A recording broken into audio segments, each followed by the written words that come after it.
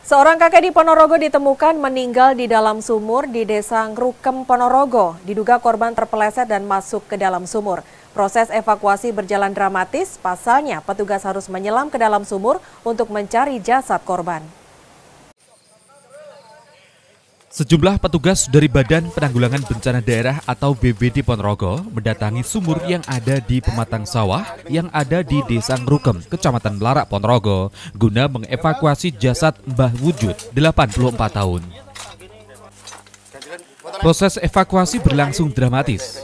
Selain harus menantang maut karena minim udara, petugas dari BBD juga harus menyelam ke dalam sumur berdiameter 1,5 meter dengan kedalaman mencapai 3 meter.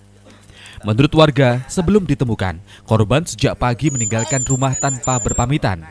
Hingga akhirnya dicari keluarga dan warga karena hingga larut malam korban tak kunjung pulang. Jasad korban akhirnya baru ditemukan saat warga mendapati sandal dan sabit milik korban berada tak jauh dari sumur pengairan sawah. Sembilan malam kalau nggak salah. Itu siapa yang menemukan Pak? Yang menemukan saya sendiri, Ah. terus Pak kami tua bersama teman-teman. Ya, terus itu dilakukan pencarian mulai jam berapa tadi? Jam 5 nggak pulang atau gimana?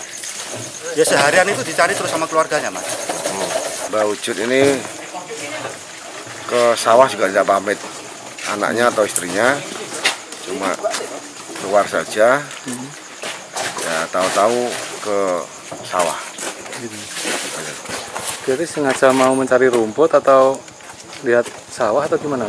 yang jelas sawah dari Mbak Wujud ini adalah selatannya sumur ya mungkin Mbak Wujud juga mau lihat tanamannya di sawah gitu. Ini kemungkinan korban ini terpeleset atau memang seperti apa kemudian? kemungkinan korban ini terpeleset kemudian masuk ke dalam sumur tua Usai dievakuasi, sesuai permintaan keluarga, jasad korban dibawa ke rumah duka untuk disemayamkan. Ega Patria, CTV, Ponorogo. Pass.